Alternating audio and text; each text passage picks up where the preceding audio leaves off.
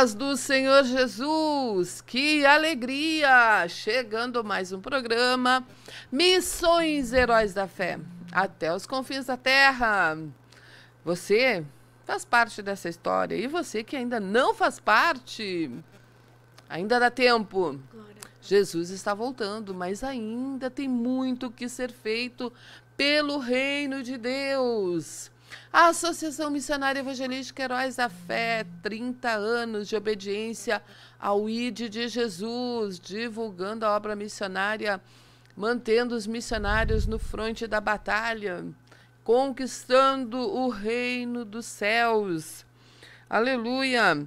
Conquistando almas para, os rei, para o reino dos céus.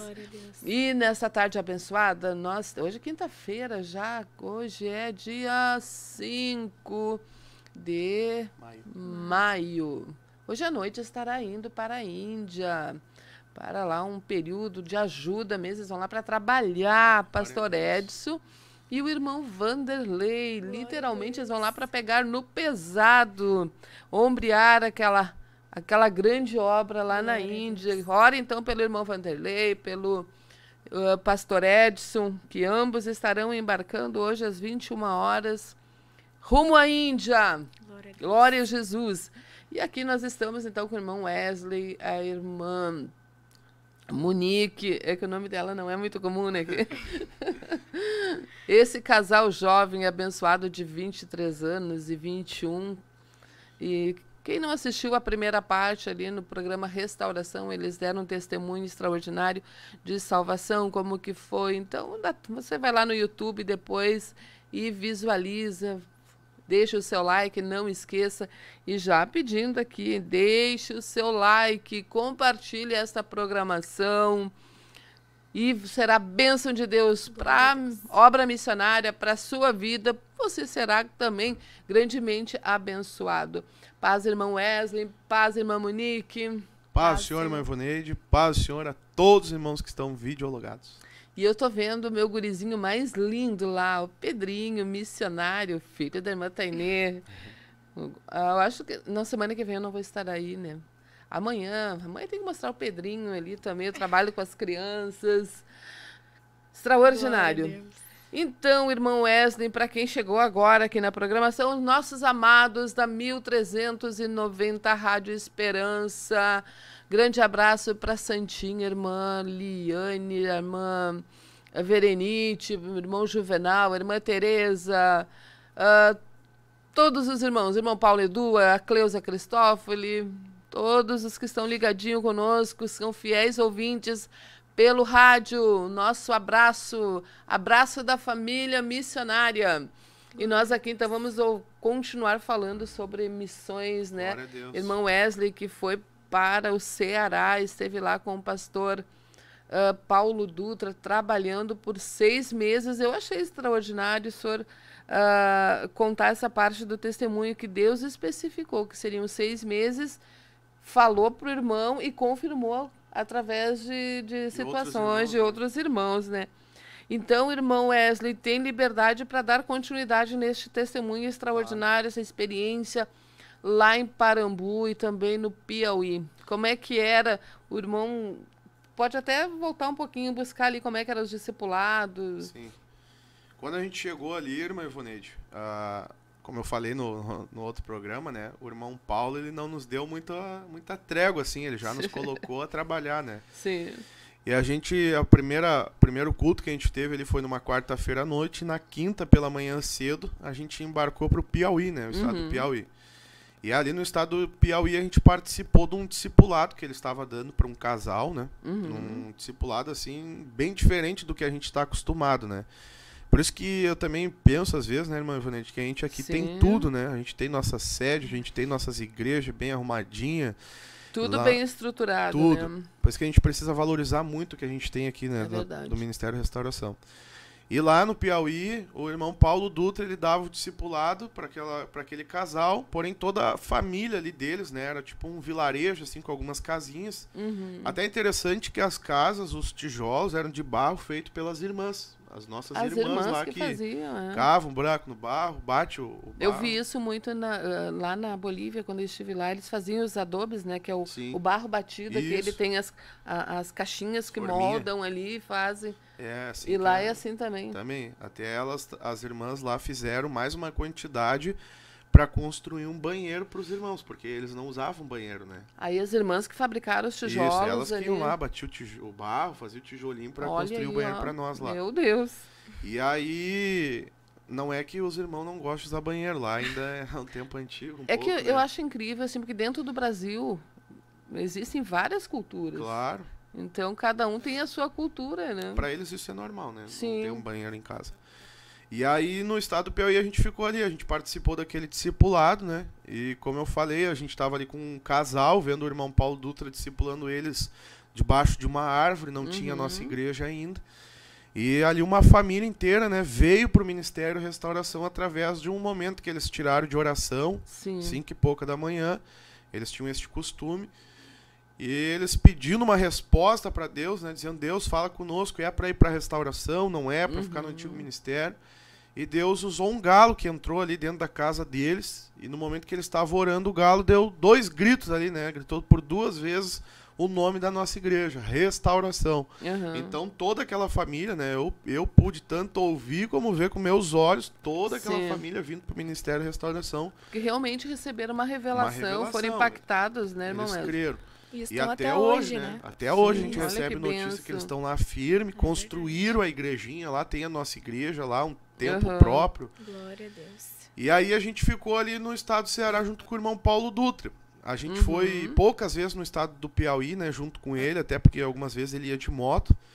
Mas é bem distante, né, É, irmão 80 Wesley? quilômetros ali, né, Uhum. irmã Ivonete? E aí, não, eu me lembro que a gente ficou os primeiros dias ali, acho que umas duas, três semanas na casa do irmão Paulo. Na época, morava os seus dois filhos junto com ele, né, a irmã. Esther e o irmão Éder. E eu lembro que quando a gente chegou, irmã Ivonete, ele nos tratou assim de uma forma muito especial. A gente chegou, Uhum. tinha um, ele disse, ó, irmão, tá aqui o quartinho de vocês. Tinha um quartinho bem arrumadinho, uma cama de casal. E os filhos deles ficaram dormindo na sala. Vamos dizer assim, era uma sala, eles Uhum. botaram a caminha deles ali dormindo na sala. Então eles deram o quarto deles pra nós. Sim. Só que num dia, irmã Ivoneide, eu passei em frente ao quarto do irmão Paulo e eu não vi cama de casal. Uhum. Eu só vi uma, uma rede e um colchão de solteiro. E eu fiquei chateado com aquilo. Eu disse, pá, o irmão Paulo deu a cama dele pra nós e ficou ali agora a Sim. irmã dormindo numa, num colchão e ele na rede, né? E eu fiquei, ah, aquilo ali me, Uhum, me alegrou, mas ao mesmo tempo eu fiquei, não, claro. tem, a gente precisa fazer algo, né? E como eu falei, muitos irmãos daqui, eles se colocaram à disposição de nos ajudar. A minha Sim. sogra, minha pessoa tem noção, ela não é crente. Hoje, graças a Deus, ela tem vindo na nossa igreja, tem Uhum. participado, mas ainda não tomou uma posição, mas a gente crê que vai. Mas naquela época, é a mesma sogra que eu disse que não queria deixar nós Que casar. não né? queria que vocês casassem, né? Ela disse pra mim e pra irmã Monique assim, olha, eu vou dar... Era 600 ou 500 reais? Acho que era 500, né? 500 reais pra vocês todos os meses. Enquanto vocês estiverem lá no Ceará, eu vou ajudar vocês com este valor. Uhum. E ela não é crente, ela decidiu dar esse valor. Então, esse valor chegava pra mim lá. Então, eu disse pro irmão Paulo Dutra, né? Irmão, bah, eu vi a tua situação ali, não, não Uhum. gostei disso. Eu acho que eu posso comprar uma cama. Vamos Sim. procurar uma cama. E eu comprei uma cama de casal e uma geladeira. Acho que eu gastei nem 400 reais ali, eu Uhum. comprei os dois. E eu disse, irmão Paulo, agora eu vou alugar uma casa, irmão Paulo. E ele disse, mas irmão, né, não tem salário, não- como é que vai fazer? Eu disse, irmão, a gente tá aqui pela fé, vamos alugar uma casa. E eu comecei a procurar e achei uma casa lá. Uhum. Lá o aluguel é muito barato, né? Sim. Eu aluguei uma casinha boa O por custo de vida baixo isso, também, custo de vida né? baixo. E paguei 180 reais eu pagava no aluguel dessa Uhum. casa. Só que, irmã, como eu falei, nós tínhamos esse trabalho de visitar o hospital todas as segundas-feiras, né? E eu lembro que numa segunda a gente foi, visitou o hospital e no retorno a gente chega em casa. A irmã Monique tinha deixado a louça lavada, lá não precisa nem secar a louça, né? É bom que tu deixa ali seca Muito sozinho. calor, seca sozinha. Eu não tinha esse trabalho lá. E aí o... ela foi pegar um copo que tava ali junto com aquela louça lavada. Só que esse copo tava bem próximo de uma panela de pressão. embaixo. Uhum. Hã? Tava embaixo, Embaixo da panela de pressão. Aham. Ela pegou o copo, tomou a água e tal. E disse, Wes, guarda a panela. Tá, quando eu fui lá guardar a tal da panela, pula um rato de dentro. Uh, E eu disse, e agora? Tu tomou água nesse copo aí, se esse rato fez alguma coisa, aí passou no copo, né? uhum. E na hora bateu um pavor. Eu conheci Sim. no hospital da cidade, eu era meio precário, mano. Pensei, se der Uhum. alguma coisa nela, a gente vai. E irmã Ivonede, assim, ó, eu lembro que naquela casa, o Ceará é assim, ó, tu puxa a descarga quando tu vai no banheiro, sempre pula sapo de dentro da descarga. Né? Meu Sempre. Deus. Ai, De dentro, do- de dentro da Dentro privada. da eu privada. sou muito corajosa, irmão Wesley. Não, isso é muito normal Um lá. Mas sapo, isso não. um sapo vem, eu vou. Eu tenho até Eu um vou vídeo correndo. das irmãs apertando a descarga assim e pulando três sapos de dentro me deu da, um da arrepio privada. aqui agora de mim. Isso é normal. Então, assim, Uhum. às vezes a gente ia tomar banho, lá não tem chuveiro elétrico, né? Aham. Eu dizia para a Monique assim, não olha pra cima, não olha pros lados, vai teu, toma teu banho e sai correndo. Porque era sapo por tudo que era canto do, do banheiro, né? Ai, eu não sei como eu tomei banho, Ivonete. Porque depois que eu saí do banheiro, eu tive coragem de Ai, olhar. Jesus Tinha um no chuveiro, tinha um na parede do Não, lado, tinha um na tudo. frente. E tirando os que pulavam de dentro do vaso. Não pensa, mas era sapo grande, assim. Uns sapinhos assim, ó.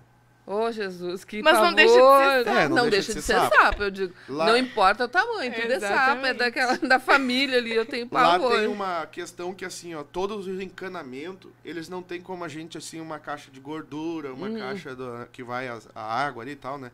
É tudo vai para um valão. Então os bichos eles vêm tudo pelos canos, né? Ah, A gente tinha muito problema assim de estar tá, deitado quando tu olhava era um monte de barata pela casa porque eles vinham pelo uhum, pelo ralo, pelo voltavam, ralo, pelo- isso. Então, eu lembro que eu liguei para um irmão, um irmão me ligou para saber como eu estava melhor. O irmão Renato, ali de Cachoeirinha, que Uhum. acho que ele cuidava ah, da sim, missão sim, também. Sim, o irmão Renato, claro. Isso, um grande amigo nosso também, ele Uma nos ajudou de Deus, bastante. irmão Renato. E aí um dia ele me ligou, ele, e eu contei pra ele, eu disse, irmão, tô apavorado, a gente vai no banheiro, é sapo saindo da descarga, é sapo na pia, é tudo. E ele disse, irmão, vigia pela tua esposa. Cuida dela, irmão. Aluga uma casa melhor, talvez tu pode achar um Uhum. lugarzinho melhor que não vai ter esse problema. E eu pensei pelo lado dela, a gente é homem, né, mas a gente se vira. Claro. Eu até, eu tinha medo de pegar o sapinho lá na mão, mas o, eu tinha um jovem irmão Éder, que é o filho do Paulo Dutra, eu chamava ele lá em casa, ele ia lá, pegava com a mão e tirava, né, mas eu ficava meio de longe, né. Ah, o irmão também é, Não, é corajoso, assim, pra enfrentar essa, essa fera. É. E aí, irmã, eu, tá, vamos alugar uma casa nova. E aluguei uma casa, uma outra, só Uhum. que lá eles chamam assim casa de predinho, quando é uma garagem embaixo e a Uhum. parte da casa em cima, tipo o quarto, Sim. a sala. Vamos dizer que era uma casa de dois pisos, mas não é bem de dois pisos, assim, né? Porque embaixo é só a garagem. Uhum. E eu pensei, pô, essa casa é mais alta, é mais difícil pros bichos subir, Não né? vai ter o quarto do banheiro é na parte de cima e tal, não vai ter esse problema. Tá, entramos naquela casa ali. Valor bem baixo também. Só que quando eu cheguei naquela casa, eu tinha uns vizinhos muito bons ali, né, mãe Ivanete? Uns vizinhos, Aham. assim, muito, que, que tinham um, re- um grande respeito por nós. Uhum. Imagina, mano, eu não era nem auxiliar da igreja, eu tava lá disposto a fazer a obra.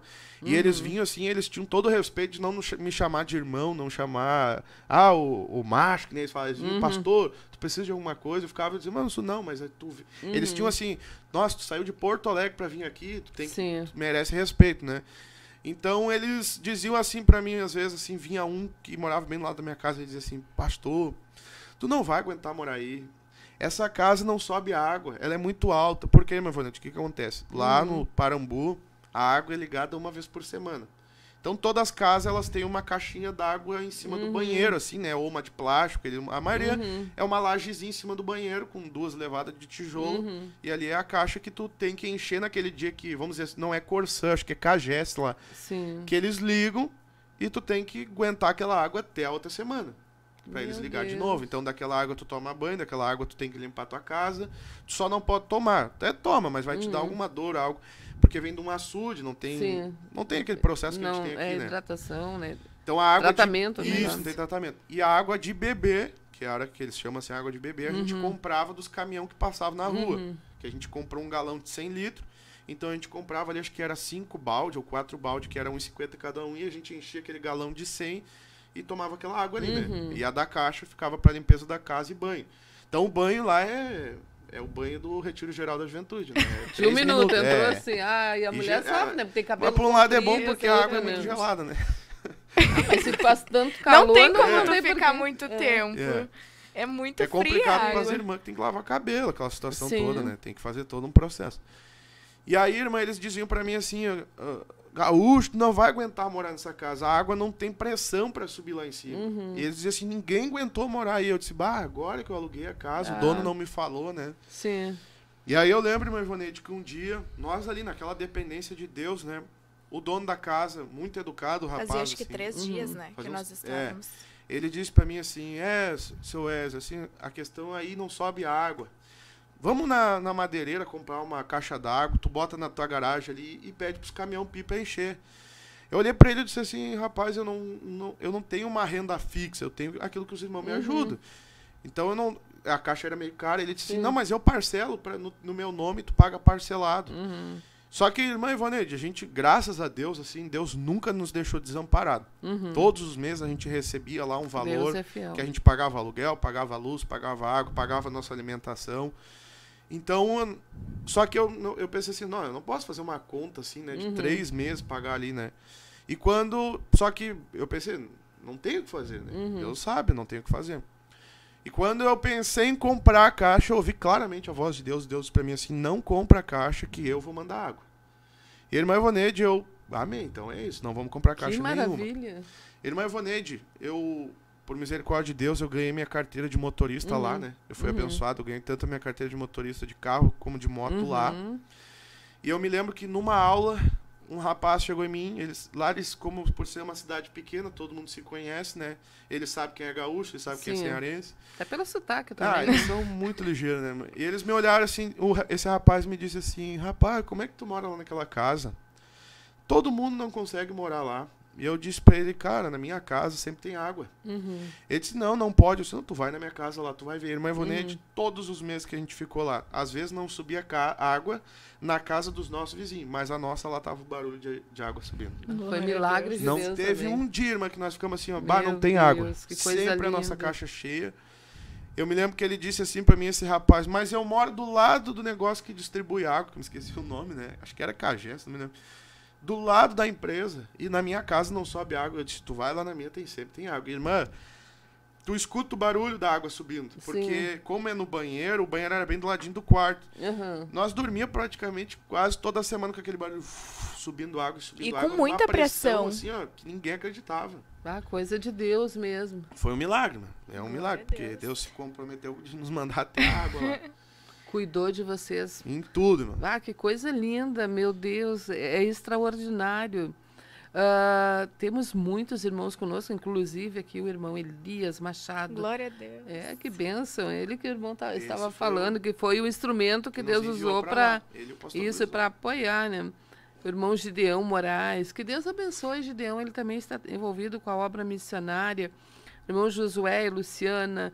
O irmão Paulo Carvalho, lá de Criciúma, que bênção.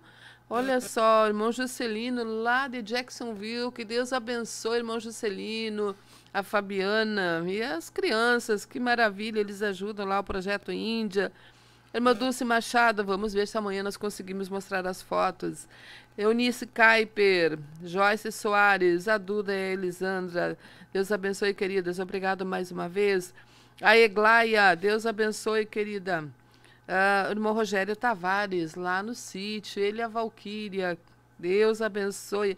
Minhas irmãs Prisca e Hold, irmã Terezinha Dutra, irmã Eni Família, irmã Tereza Dávila, Loreci Belos, irmão Ricardo Belos, Vila Jardim, a Nathalie, a Roberta, a irmã, ah, aqui a Kiki, assina Kiki, né? É, Ô, missionário Sandro, Portugal, olha que bênção. Glória a Deus. Já falei para ele, dia 18, ele vai estar de aniversário, o missionário Sandro, né? Glória a Deus. Vai estar preparando um bolo. missionário Cleito, Londres, que Deus abençoe. Aqui a Kiki, a, Kiki é lá da Itália, mas que bênção! Que maravilha, paz do Senhor Jesus, Florença, Itália, Adriane e Ricardo Ferro, Fer- Ferroni. Glória a Jesus, um abraço forte, meus irmãos, que maravilha. Meu irmão Lucas Prado, Coronel Bicaco, Deus abençoe, irmã Elza, lá de Viamão, irmã Suzane, irmão José Paulo, lá de Portugal, A irmã Fabiane Minossi. Essa é minha mãe. A sua mãe, claro, ela tá aqui escreveu, ó, ouvindo o testemunho do meu filho e minha nora, bem orgulhosa, Sabe, né? Lembra, irmã Ivonete, que. Uhum. Desculpa lhe interromper, mas Imagina. é, a, irmã, a minha mãe lembra que ela nos tirou da igreja lá no início, né? Sim. Mas na pandemia ela começou a assistir as lives aqui do nosso ministério aqui e ela veio pro nosso ministério. Que resultado maravilhoso, Foi viu por só? intermédio das lives. Olha aí, testemunho, então. Pedro Wolff, que Deus abençoe. Pedrinho, irmã Jussária Tapia, Deus abençoe. Pastor Ademir Sudário, Paraíba do Sul. Um abraço para o senhor, para Ju, Arthur, Natan, que Deus abençoe vocês. Irmã Janete Soares, Marilu Silveira, eh, também irmã Clair Brito, lá de Tijuca, Santa Catarina. Irmão Fernando Padilha, lá do Mato Grosso, Deus abençoe o senhor e a sua família. A irmã Cida, lá de Criciúma, se não me engano. Irmã Daiane Xavier Viamão, irmã Esther Escola, irmão Ricardo, que nós já falamos. E deixa ver quem mais que está conosco. Não esqueçam o like, não esqueçam de compartilhar. Também a Betsy Rivera, Puerto Rico. Que bendiciones tener nuestros hermanos con nosotros. Alegria. Irmã Salomé, Deus abençoe. Irmão Laerte, bênção. Minha amiga Rosilene Locke, paz do Senhor, forte abraço também. Irmão Adroaldo Caçariego, ontem nós fizemos um agradecimento a essa família amada aí, família missionária que abraçou os nossos missionários, Hugo e também Irmada. Bênção. Irmã Nair Cunha, paz do Senhor, Deus abençoe. Irmão Tiago de Gua- do Guajuviras, Deus abençoe, meu irmão. E também o irmão Luiz Carlos, ah, um canal de bênção. Glória a Jesus, irmão Luiz Carlos, verdade. É, missioneiro Luiz Xavier, Luiz Xavier Nepal. Glória a Deus. God bless, missionário pastor. Também irmã Franciele conosco. Paola Cruz, lá de Puerto Rico, que bendiciones. Irmão Carlos Aníbal, com este testemunho da vontade de ir fazer um estágio com a irmã Ângela lá, em- lá também no Ceará. Então, irmão Aníbal, pega a irmã Ângela e vai lá. Irmã Nadir Cunha Martins, paz do Senhor Jesus, glorificado seja o nome de Jesus Cristo pela vida dos irmãos, meus amados netos. Olha a avó aí. Tá aí. Olha a avó, a família aí todos. Que bênção. Glória a Jesus. Dá tempo ainda de contar mais alguma coisa. Ah, também a nossa missionária lá da Alemanha, a irmã Maiara e o Murilo. Murilo, Deus. ah, não, o missionário Murilo e tem o Maurício, que é o filhinho deles. Que Deus abençoe essa família. Glória a Deus pela vida de todos os missionários que estão participando na programação. Irmã Olinda, minha querida irmã. Ela, irmão João Peixoto. Forte abraço, irmã Olinda. Irmão Wesley, o tempo tá passando rápido, dois minutinhos aí. Irmã, para nós resumir, a gente ficou aqueles seis meses ali no Ceará. Quando chegou o tempo de vir embora, eu lembro que nossa comida estava acabando, nós não tínhamos muito dinheiro para comprar comida. Uhum. Eu lembro que o irmão Paulo Dutra chegou lá na nossa casa, bateu na porta com um rancho assim, bem grande assim, e ele disse: "Ó, irmão, um irmão lá do Mato Grosso mandou te enviar". Eu fiquei impressionado com aquilo, né? E aí no final ali quando tava chegando em janeiro, eu liguei pro evangelista Elias Machado, né? Eu disse: Uhum. "Meu irmão, tá chegando o tempo, acho que agora é a hora do senhor comprar a passagem para janeiro". Sim. E ele disse assim, irmão Wesley, não tem como, janeiro é época de, de temporada, é muito Uhum. caro as passagens. Eu disse, irmão, Deus falou janeiro. Sim. Fica tranquilo, né? E eu lembro que ele, a gente parou de falar ali. E ele me retornou logo em seguida. Ele disse assim: Irmão, eu encontrei uma para fevereiro. Bem barata. Eu disse: Não dá, irmão, é janeiro. Deus falou janeiro, é Janeiro é janeiro, janeiro, né? né? E ele disse: Ele até achou que. Eu, eu imagino que ele deve ter pensado: Mas esse irmão tá me complicando. Né? e aí Querendo eu. fazer a vontade dele, voltar em janeiro. Ah, E aí, irmã, eu lembro que uma mulher lá do Ceará, de uma família, de duas famílias muito Uhum. conhecidas, nos chamou pra nós orar com ela. Uhum. E a gente tá, orou, fez a oração, e eu terminamos a oração e eu disse, eu vou continuar orando pelas essas passagens, vou ver, pedir pra Deus, né? E a gente orou, orou ali, eu comecei a orar pelas passagens, e nisso a irmã Monique acha, na internet, ali, duas passagens com duas malas pra janeiro, num valor muito baixo. Eu disse, ó, envia rápido pro irmão Uhum. Elias, né? E de imediato o irmão Elias já comprou as passagens. E aí eu lembro, irmã Ivonede, que nós tínhamos uma preocupação, porque era só duas malas Uhum. pequenas. De mão. De mão, né? E nós tínhamos as grandes. Sim. Aí teria que enviar pelo um caminhão que sai de lá pra Uhum. cá, só que tem que pagar pra isso, Sim. né? E aí eu disse, vamos orar, vamos ver o que Deus vai fazer, né? Eu disse, e o irmão Elias, ó, irmão, já consegui comprar e tal. E passou uns dias, o irmão Elias me liga de novo. Irmão, olha só, liga pra companhia e pergunta sobre as malas. E eu liguei. Uhum. Eu disse, ó, eu quero saber quantas malas eu posso levar. E aí a mulher disse pra Uhum. mim assim, olha, tu pode levar duas de mão e mais duas grandes, mais uma grande pra Ô, cada um. glória. Então se confirmou, né, irmã Ivoneide? Deu certinho em janeiro, a gente voltou em janeiro, né? Hoje a gente congrega ali na área Berceba, junto com o Uhum. evangelista Roberto Martins. E foi uma benção de Deus, irmã. E eu gostaria muito de falar, tem muitos missionários ouvindo, né? Uhum. Muitos obreiros, pastor, eu acredito. Que invistam, irmão. O evangelista Elias Machado, pastor Brizola, eles nos receberam como jovem, mas eles investiram em nós. Uhum. Hoje eu sou grato a Deus pela vida dele, sou grato a Deus pela Heróis da Fé, que também, eu me lembro que eu entrava em comunicação com a senhora, Sim. Que investiram em nós. Nós era recém-convertido, recém chegamos na igreja, mas investiram em nós e Deus fez tudo isso. Glória a Deus. E olha, não temos mais tempo. Muito obrigada, irmão Wesley, irmã Monique. Fiquem todos na paz do Senhor Jesus. Amanhã, 13 horas, programa Missões Heróis da Fé. Paz do Senhor. Deus abençoe.